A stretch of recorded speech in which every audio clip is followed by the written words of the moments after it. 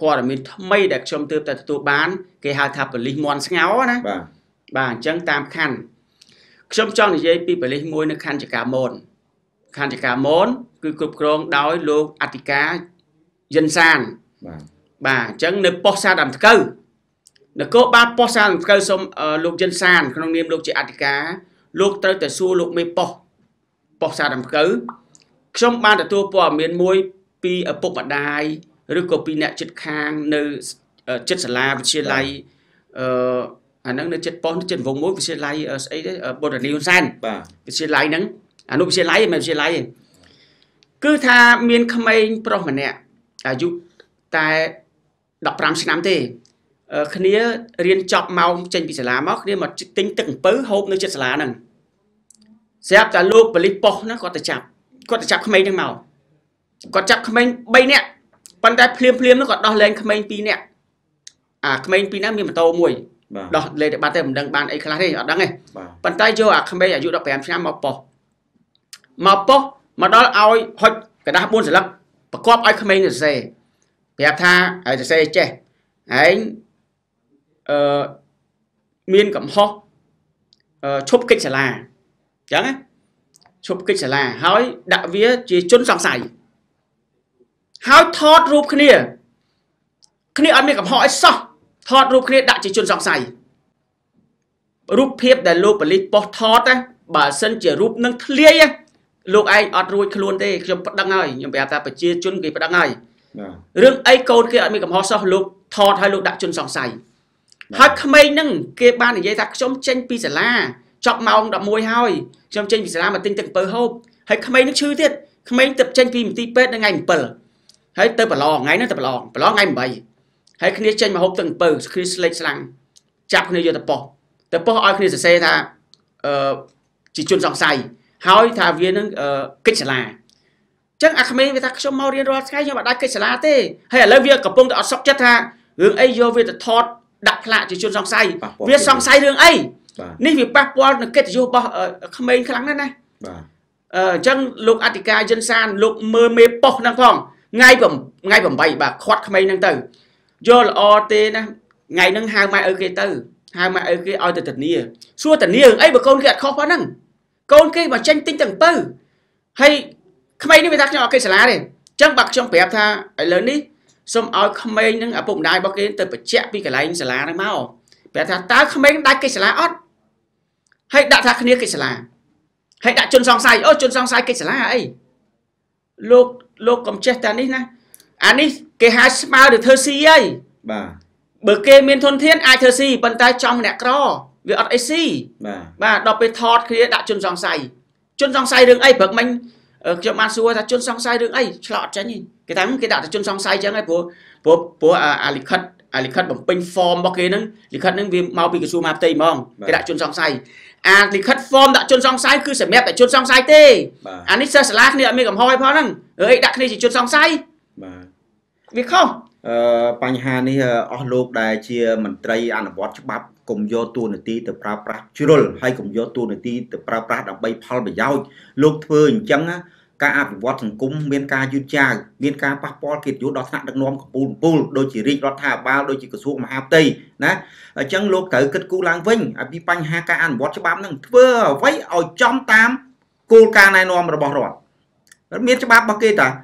រឿងបញ្ហាកូនសិស្សនេះខ្ញុំសូមចូលរួមមតិបន្តិចសូមឲ្យឪពុកម្ដាយដោយលោកចតាមានភាសាចឹងគឺបញ្ជាក់ពីសាលាតើកូនគេចូលសាលារៀនត្រឹមត្រូវដែរអត់តែពេលចេញមកក្រែងលោកចង់ធ្វើស៊ីកូនគេមកចាប់ហើយ ហើយហ៊ានទៅដាក់ផ្លាក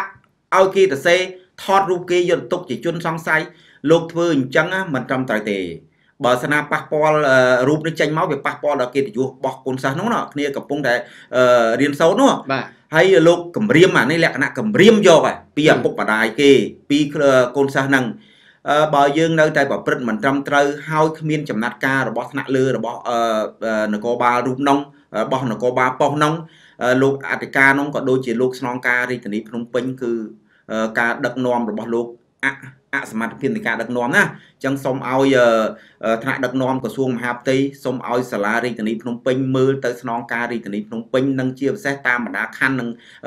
ប៉ុស្តិ៍នានាដែលប្រព្រឹត្តមិនល្អមានការប្រជាពលរដ្ឋក្រេតក្រោតមានបណ្ដឹងមានផ្សព្វផ្សាយសារព័ត៌មានសូមលោកចំណាត់ការផងដើម្បីឲ្យប្រទេសជាតិយើងមានលក្ខណៈល្អប្រសើរមានភាពល្អប្រសើរដោយថាវាស្មើភាពគ្នាចំពោះមុខច្បាប់កុំធ្វើអ្វីមិនល្អដើម្បីផលប្រយោជន៍បុគ្គលបាទ ហើយរឿងហ្នឹងតាមឪពុកម្ដាយរបស់ក្មេងនឹងនិយាយប្រាប់ខ្ញុំហើយនៅអាក្មេងនឹងនិយាយប្រាប់ខ្ញុំវាថាពូខ្ញុំអត់មានខកអីទេខ្ញុំចាប់ម៉ោងខ្ញុំប្រឡងហើយខ្ញុំចេញមកក្រៅដើម្បីទិញទឹកអំពើហូបហើយរៀបចំចេញទៅផ្ទះស្រាប់ប៉លីសមកខាត់ហ្មងហើយខាត់ហើយ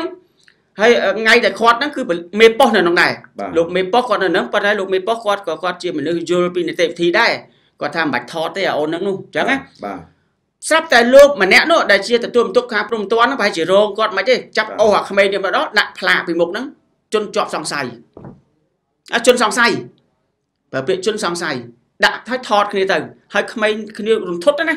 ពួកក្មេងអត់ទាន់មានកំហុសអីទាំងអស់ហើយគ្នានៅទៅអាយុ5 10ឆ្នាំអឺដាក់ថាជន់សង្ស័យទៅដល់វិញហើយដល់ពេលអញ្ចឹងម៉ែឪទៅធានាហើយម៉ែឪអត់ចេះអសរទេមិនដឹងថាគេសរសេរមិនមិនប៉ុន្តែអាកូនវារៀនហ្នឹងវាប្រាប់ខ្ញុំថាលោកប៉ូលីសគាត់ថាដាក់ឲ្យខ្ញុំសរសេរថា ឈប់កិច្ចសាលាហើយគាត់ថាខ្ញុំអត់ដែរកិច្ចផងហ្នឹងហើយគាត់ថាឲ្យសរសេរអញ្ចឹងហើយដល់ពេលហើយសរសេរមួយទៀតអាចថាជនសង្ស័យបាទហើយខ្ញុំសួរថាអូនឯងថាតើជនសង្ស័យគាត់ឲ្យថាជនសង្ស័យលើករណីអីគាត់ថាអត់ទេឲ្យសរសេរតែប៉ុណ្្នឹងអឺឥឡូវចេះលោកចតាអញ្ជើញក្មេងនឹងឲ្យគ្រួសារយកមកនិយាយឲ្យបលិសនឹងស្ពឹកមុខម្ដងមើលហើយឲ្យចវាយខណ្ឌអឺអាញាធរក្រុង ឲ្យដឹងថាពីមន្ត្រីរបស់ខ្លួនព្រឹត្តមិនល្អទៅលើប្រជាពលរដ្ឋមើលលោកបានទូនាទីដោយសារបកបកឈ្នះដឹកនាំប្រទេសដោយសារការបោះឆ្នោតរបស់ប្រជាពលរដ្ឋបើលោកនាំនេះប្រព្រឹត្តពេញអញ្ចឹងបកត្រូវចុកសោរដ្ឋាភិបាលដឹកនាំដោយគណៈបកដែលជាប់ឆ្នោតគឺត្រូវបាត់បង់បើស្នាលោកប្រព្រឹត្តអញ្ចឹងពីព្រោះក្នុងមួយថ្ងៃមួយខែមួយឆ្នាំ5ឆ្នាំធ្វើឲ្យប្រជាពលរដ្ឋមានការអអន់ចិត្តដោយការដឹកនាំរបស់រដ្ឋាភិបាល វាប៉ះពាល់ដល់គណៈបកចឹងសូមឲ្យអាជ្ញាធររាជធានីភ្នំពេញមេត្តាទទួលយកសំណុំពររបស់ប្រជាពលរដ្ឋមេត្តាទទួលយកព័ត៌មាននៃការផ្សព្វផ្សាយយកទៅវិភាគយកទៅសាវជ្រាវដើម្បីដំណោះស្រាយផងការផ្សាយព័ត៌មានរបស់ពួកយើងខ្ញុំគ្មានចេតនាបរហាមូលបង្កាច់កេទេគឺការផ្សាយព័ត៌មានរបស់ពួកខ្ញុំគឺដើម្បីរិះគន់ស្ថាបនារបស់អាជ្ញាធរសមត្ថកិច្ចដែលប្រព្រឹត្តមិនល្អតែប៉ុណ្ណោះអញ្ចឹងអឺថ្ងៃក្រោយយើងនឹងអញ្ជើញ គ្រួសារប្អូនដែលជាប់ពាក់ព័ន្ធជាមួយសមត្ថកិច្ចប៉ុស្តិ៍សារំស្កើអញ្ចឹងយកមកសម្ភាសតែម្ដង គឺឲ្យគាត់និយាយខ្លួនគាត់កុំឲ្យថាយើងនិយាយពេលនោះលោកមេប៉ុស្តិ៍បើប្រព្រឹត្តមិនត្រឹមត្រូវលោករងប៉ុស្តិ៍ទទួលទុកព្រមព្រាន់ព្រឹត្តមិនត្រឹមត្រូវត្រូវតែទទួលវិន័យរបស់ស្នងការរបស់នគរបាលរាជធានីភ្នំពេញឬរបស់អាជ្ញាធររាជធានីភ្នំពេញបើទុកឲ្យគាត់នៅប្រព្រឹត្តអញ្ចឹងតទៅទៀតទេការអអន់ចិត្តរបស់ប្រជាពលរដ្ឋសារព័ត៌មាននៅតែផ្សព្វផ្សាយបញ្ហាប្រឈមបញ្ហាមិនល្អរបស់ អាជ្ញាធរមូលដ្ឋាននិងការដឹកនាំរបស់រាជរដ្ឋាភិបាលតែអញ្ចឹងបាទអញ្ចឹងព័ត៌មាននេះប្រហែលជាម៉ោង1:30នាទី